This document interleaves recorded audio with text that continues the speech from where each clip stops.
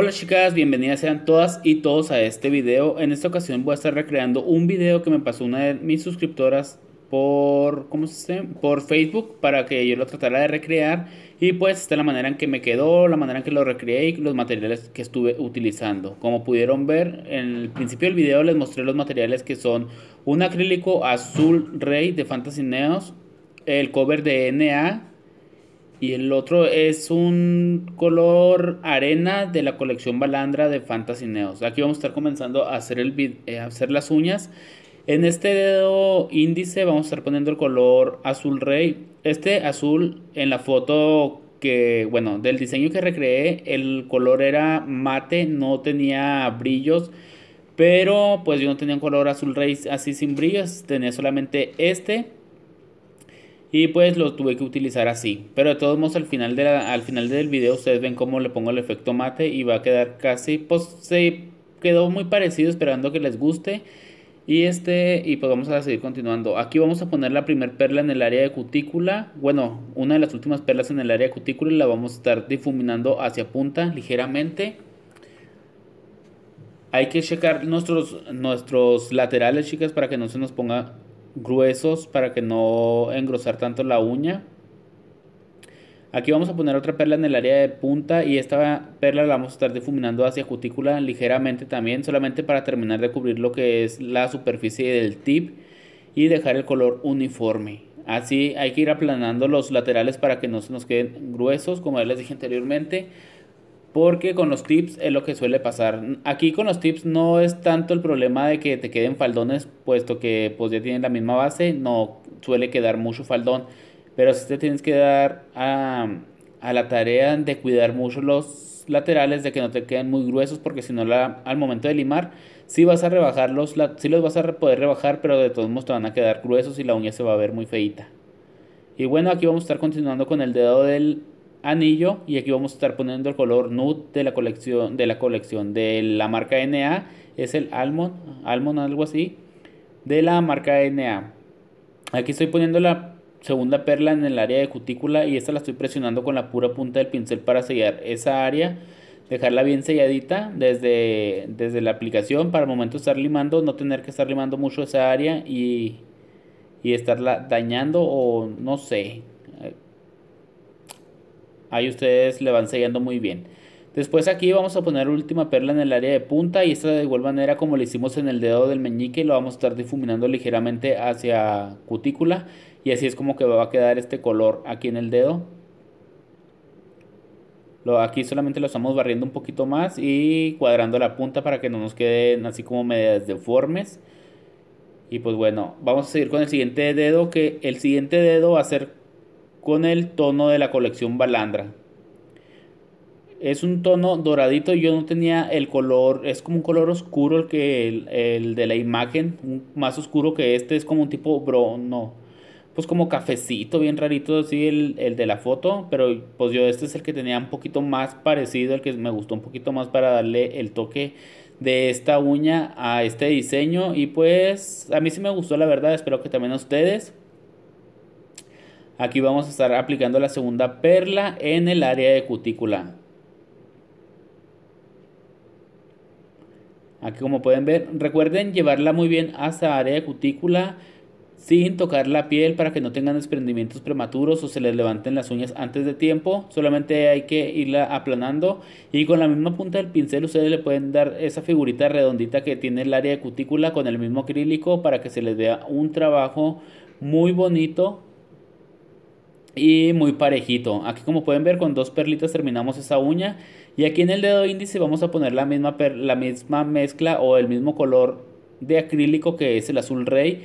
Lo vamos a estar aplicando en toda la uña de igual manera. Desde aquí pues, empezamos en el área de peralte y esta la vamos a estar llevando de lado a lado difuminándola a la vez hacia punta para dejar un color uniforme y recuerden de lo de los faldones, no engrosarlos tanto, chicas, porque las uñas cuando las ponen ustedes como que gruesas, este, van perdiendo la formita y el momento ustedes de terminar el set se van a dar cuenta de que les quedó un, pues, les van a quedar como boluditas de esa, de esa parte. Entonces hay que ir cuidando también mucho los laterales, los laterales cuando ponemos uñas con tip.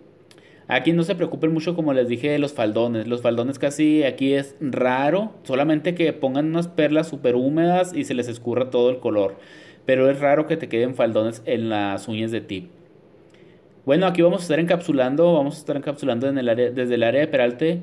Vamos a estar esparciendo hacia el grosor de la uña para llegar a cubrirla toda. Recuerden que deben de cubrir muy muy bien las uñas que vayan a poner con mezclas. O sea que la mezcla tenga decoración, mucha decoración tienen que cubrirla muy bien, muy bien, o sea, encapsularla muy, muy bien para que el momento de estar limando no se lleven lo que es la decoración y se vea en algunas partes de las uñas como que les falta acrílico o a la vez la decoración se vea muy raspada y ahí aunque le pongan el gel pues no va a ser lo mismo, no se van a ver igual de bonitas que si encapsulas bien y no dañas la decoración.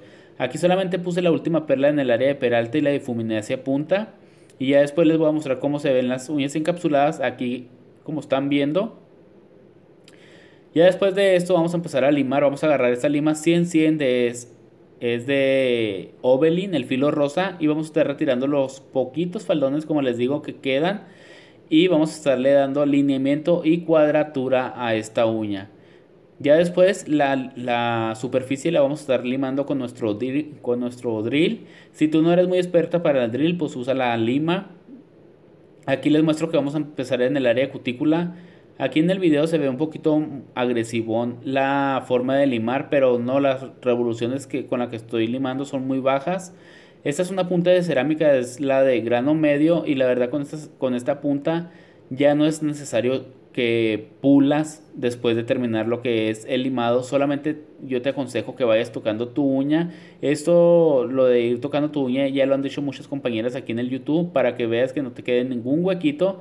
Y como ven, aquí les muestro el gel de, de MC con el que vamos a estar haciendo el efecto mate en las uñas.